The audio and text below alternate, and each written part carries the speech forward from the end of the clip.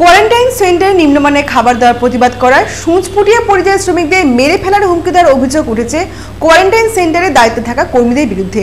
ঘটনাটি ঘটেছে মালদা কালিয়াচক দুই নম্বর ব্লকের মোথাবাড়ি থানার দেওয়া মোথাবাড়ি থানায় এবং সেই কোয়ারেন্টাইন সেন্টারে নিম্নমানের খাবার দেওয়ার অভিযোগ উঠেছে। কোয়ারেন্টাইন সেন্টারে দায়িত্বে থাকা কর্মীদের বিরুদ্ধে।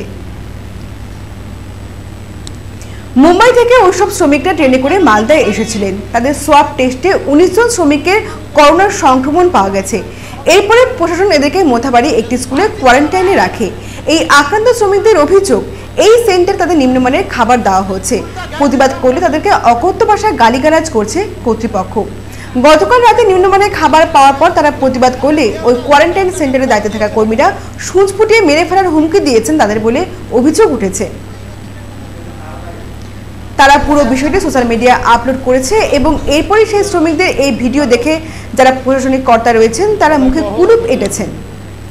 এই ঘটনা ঘিরে জেলায় চাঞ্চল্য ছড়িয়েছে। মোথাবাড়ি কোয়ারেন্টাইন সেন্টারে খাওয়া নিয়ে বিজেপি সাংসদ খগেন মুর্মু কি জানিয়েছেন আমরা শুনব। অভিযোগটা তো আমি সম্পূর্ণ যা শুনছি যে আমার বিভিন্ন সাংবাদিকদের যা প্রশ্ন, তারাই আমাকে ফোন করছিলেন।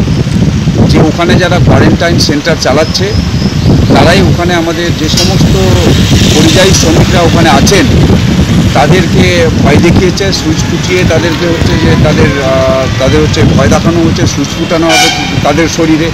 এই সমস্ত সব ভয় দেখানো হচ্ছে। কিন্তু কেন হচ্ছে? আজকে পরিযায়ী শ্রমিক তো হচ্ছে গরিব মানুষ। একে ওদেরকে আনার কোনো সরকারের পক্ষ থেকে কোনো উদ্যোগ নেওয়া হয়নি।